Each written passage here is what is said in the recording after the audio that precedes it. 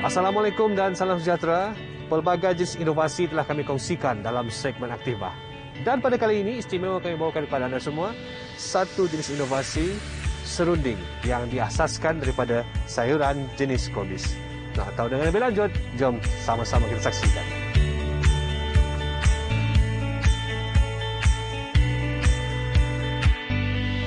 Brassica oleracea adalah nama saintifik bagi sayuran jenis daun ini. Sayur kubis juga boleh didapati dalam bentuk tiga jenis iaitu kubis manis, kubis ungu dan kubis bulat. Kawasan bercuaca dingin adalah tempat sesuai bagi penanaman sayur ini dan tidak hairanlah jika di Sabah, kubis sangat sinonim bagi daerah Kundasang, Ranau sehingga pernah diadakan pesta kubis bagi menikmati hasil tuayan sayuran tersebut. Namun, semenjak Perintah Kawalan Pergerakan PKP dikuatkuasakan, permintaan untuk sayur ini telah berkurangan dan telah menyebabkan lambakan kubis kerana tidak dapat dipasarkan. Kesannya, hasil tanaman kubis rosak dan dibuang begitu sahaja selain menjejaskan pendapatan petani.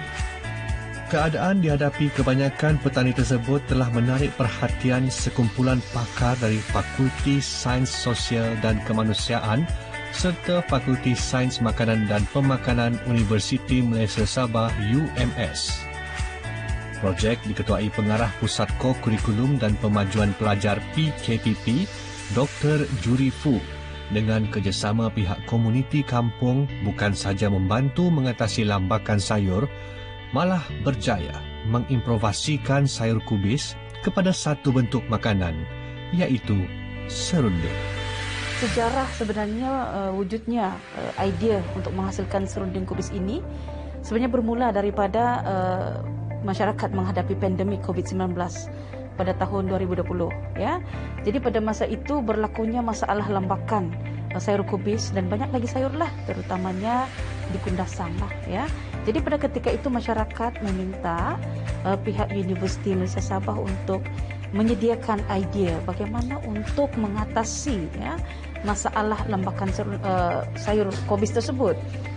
Jadi saya dengan ahli penyelidik saya mengambil kesempatan untuk um, mencadangkan idea untuk memproses kubis ini ke dalam beberapa bentuk makanan terproses uh, seperti uh, sayur masin, jeruk, uh, jeruk daripada kubis bulat dan uh, serunding kubis inilah.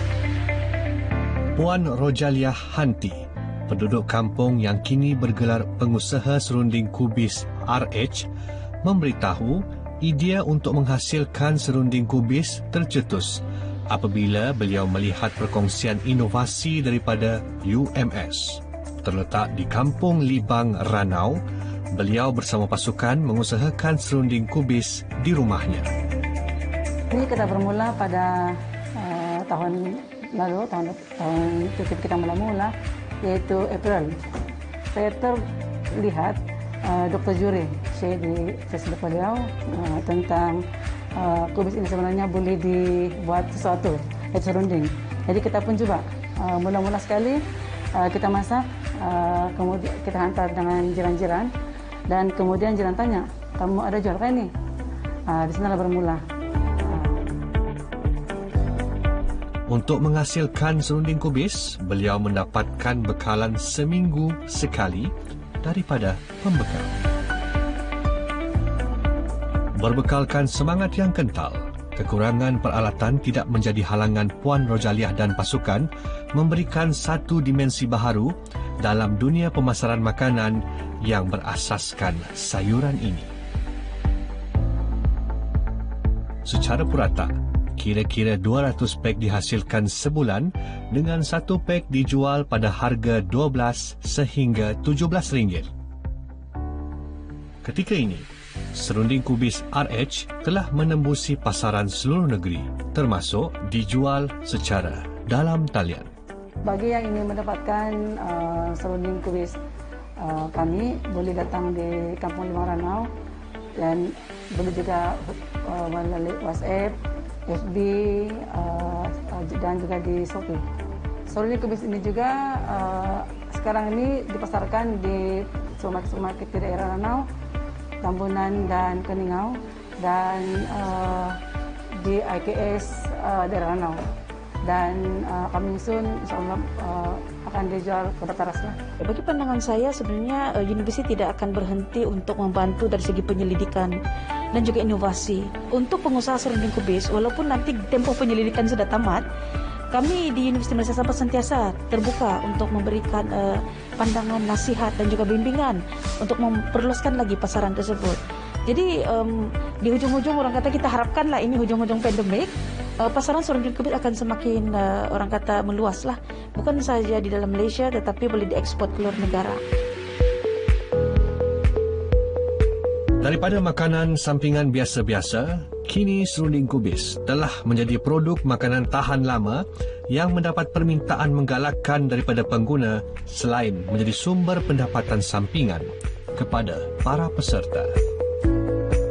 Alhamdulillah syukur kerana ada ini ini serunding kubis ini perusahaan serunding kubis kerana banyak sekali membantu saya dari segi pendapatan sampingan. Harapan saya supaya ini uh, kami punya produk serunding ini dia tetap kekal, dia ada kekal, lepas itu dia berkembang lebih maju lah. Semoga serunding yang diusahakan ini dapat membantu komuniti setempat dalam mengurangkan buangan hasil tanaman yang tidak terjual. Bukan saja pihak UMS, malahan pada masa akan datang, kita berharap akan lebih ramai lagi pihak yang membantu dalam usaha untuk memastikan komuniti dan penduduk dapat mempelbagaikan hasil yang mereka perolehi. Randy Ricky untuk Aktif Bah kami baik ini.